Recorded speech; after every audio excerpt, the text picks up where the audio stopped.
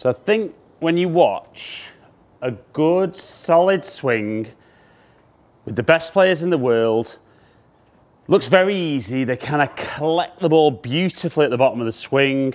They get that ball and then turf contact.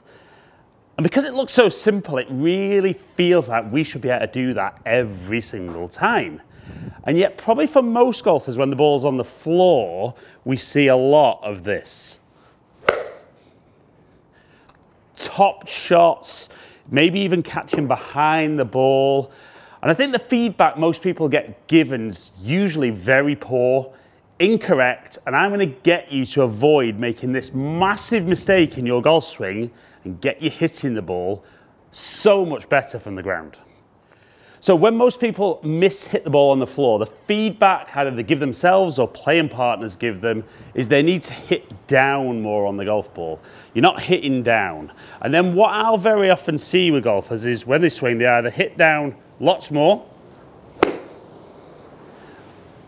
and hit way behind the golf ball or again from the same kind of setup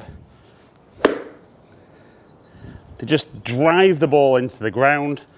And then maybe they get told you're hitting down too much. So, how do you make sure you get the club traveling down through impact without trying to hit down?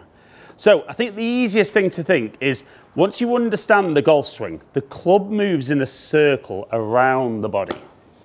So, as it moves in a circle, it moves up, it moves down, reaches its lowest point, and then starts traveling back up. So as long as your low point is after the golf ball, so target side of the golf ball, you give yourself the best chance of hitting a good shot. Now that doesn't just guarantee that it can be good because you could still get the lowest point of your swing after the golf ball and if the bottom of the arc is too high, you're still going to miss hit it. So when you look down the line at the golf swing, I think what you'll notice is, particularly for guys who get told they need to hit down more, if you hold the club straight up like a baseball bat and swing, it's, all, it's just perfectly round you. So as you tilt forward in your golf swing, that in theory puts more up and down motion into the swing.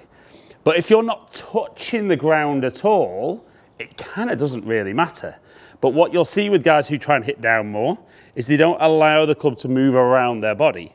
They might go around on the way back, but then they'll go this way and really hit down, which is great.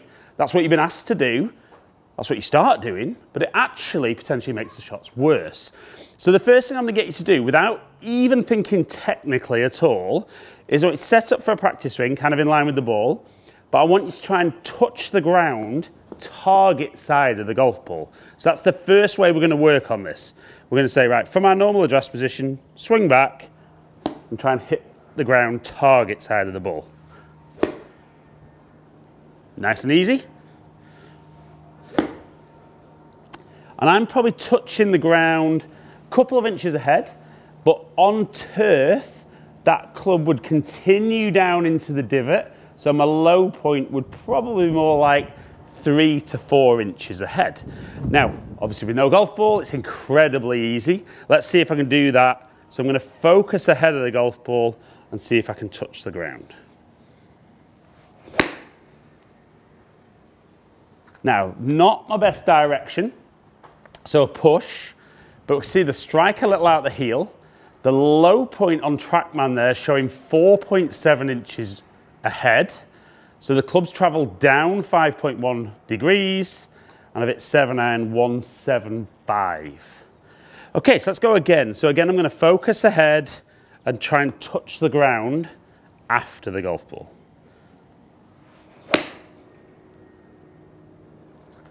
So again, slightly better contact, slightly better shot, low point 3.5 inches ahead. Clubs travel down four degrees, I'm a carry 171. Now, if you're enjoying this video and you watch my content and you don't currently subscribe, I'd love it if you just took that second to hit the button below. Remember to ring the notification bell as well though, because then you'll find out whenever I drop a new video, usually every Monday and Thursday. And they're all here to help you with your game. So please, if there's something you need, comment below and I'll do my best to make a video about that. Now, if you're finding it easier just thinking about touching the ground ahead, and that's transformed your ball striking, absolutely fantastic. But keep watching, so I'm gonna give you a couple of different ways. If you lose that, a couple of different movements, sensations you can get to maintain that quality strike. So, the first thing I would see with a lot of golfers is they get told a lot about transferring the weight. So on the way back, you see that they move onto that back foot. Now you can imagine now the lowest point of my swing's way behind the golf ball. So if I don't get all the way back across, I'm going to lose that strike.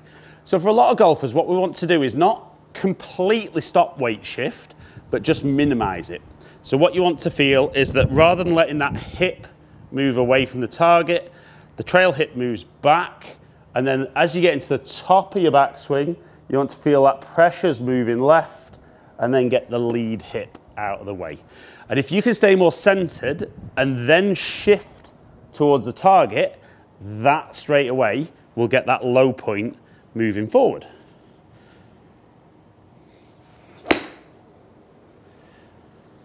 And again, that felt lovely out the middle of the golf club. It's very windy out there, but TrackMan will normalize that shot.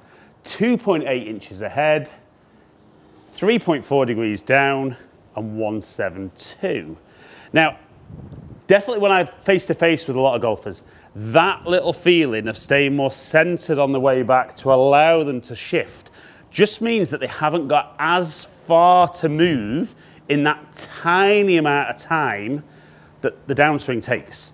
And it is amazing how quickly that ball striking can improve once they feel they're not moving around as much. So that one a little bit more excessive at 5.2 inches ahead. Clubs move down six degrees and again 170 carry.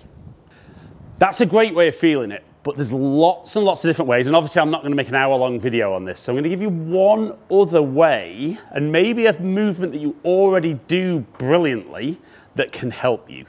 So if you watch how golfers should move, as I've just described in the golf swing there, one thing is when we throw a golf ball, we do it fantastically well. So what you'll see, if I can keep hold of the ball, is that when people throw, they shift a little bit into that trail leg but as the arms get in back, they already step forward, shift, and then release. So a great little feeling is almost to imagine you're going to throw that club down the range. Still needs to touch the ground though, otherwise that might be good with low point, but if the swing's not low enough, we're not going to get that strike. So we're going to feel like I'm going to throw the club down the range. Felt quick, felt powerful. Don't panic, that doesn't mean lack of control. Still touched the ground, and that felt maybe even a bit more athletic than normal. So we're going to feel like we're going to throw the club down the range. So again, felt good, little push, but strike was solid, 2.6 inches ahead, three degrees down, and 165 carry. Now, again, there's different ways, and that's why I've put a couple of different drills in here for you to understand how you're going to move that low point ahead of the ball. And this is the same with every single golf club on the floor. Obviously, short irons are very central, so you'll see the low point at its furthest forward. But as the clubs get longer, moving to fairway wood, the ball position just moves forward. The low point is maintained, so it just becomes less far in front of the ball and therefore the club doesn't move down as much with a three wood as it would with a pitching wedge. But you're not trying to hit down. So let's have one more. Let's avoid that mistake of hitting down. Let's feel like we throw the club down the range. Again, felt great. Two and a half inches ahead, 2.6 degrees down. 172 carry, and to be fair, I'd take that all day long. But next time you hit a bad shot, and one of your playing partners says you need to hit down more, you know kind of what he means, but you know you're not going to try and hit down. You're going to move the lowest point of the golf swing ahead of the target with one of those three ways I've told you. You're going to start hitting some great shots from the floor. And you can comment below and let me know how it's been going. So guys, hope you've enjoyed today's video. If you have, like it and share it. Comment below and I'll get back to as many people as I can. There's another video just there that YouTube thinks you're going to enjoy. Hopefully catch up of you guys down here soon. Stay in contact.